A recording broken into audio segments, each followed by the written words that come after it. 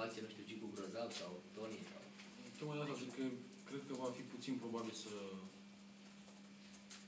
să revin pe teren. Nu știu. Dacă o voi face, o voi face la finalul sezonului. Uh, E greu să spun asta, dar pare că și în proporție de